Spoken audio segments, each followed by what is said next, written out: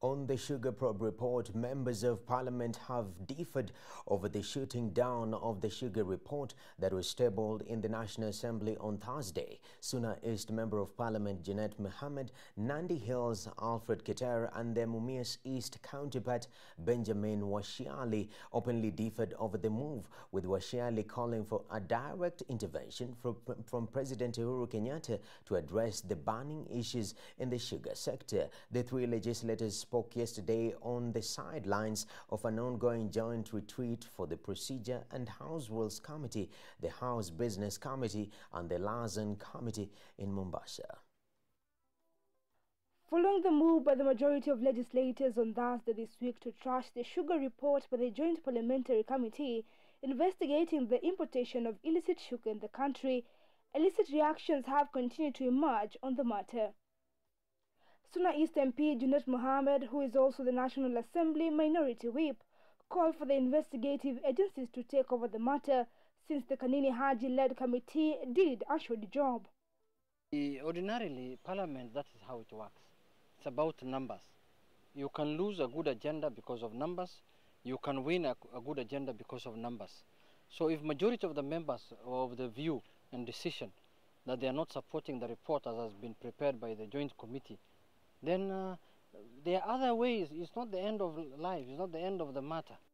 Junet now argues that the importation of illicit sugar is a criminal issue and the matter can now best rest with the agencies, adding that there is no need of tasking another parliamentary committee to do the work as it will be a waste of taxpayers' money. There are other agencies that can still carry on investigations. The DCI, for example, is, is obligated in law to, to go and do proper investigation into those issues and uh, take appropriate action, that is, if necessary. Nandi Hills MP Alfred Keter, on his part, thinks that Parliament should now task the National Assembly Committee on Health to take over the sugar investigation following the rejection of the report done by the Kieni MP-led committee.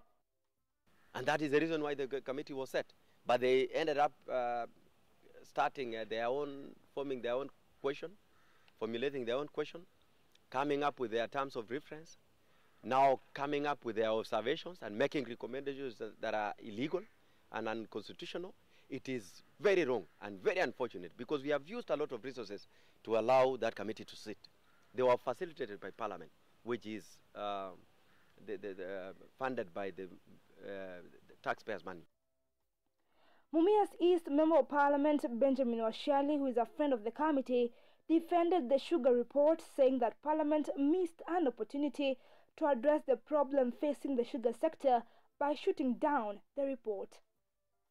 Um, Parliament lost an opportunity to rein in because by importing 1 million tons and yet the country only needs 200,000 shortfall from uh, local manufacturing, you are actually saying that we have imported sugar that we would have imported in the next five years. So what are you telling the sugar farmers? You are telling sugar farmers uh, to go to hell in a few words. That's what you are saying. All this comes even as some member of parliament claim that naked bribery happened to hoodwink members to trash the report. I want to agree and I want to go on record that uh, yesterday the Honorable Fatuma Gedi tried to bribe me with 10,000 shillings.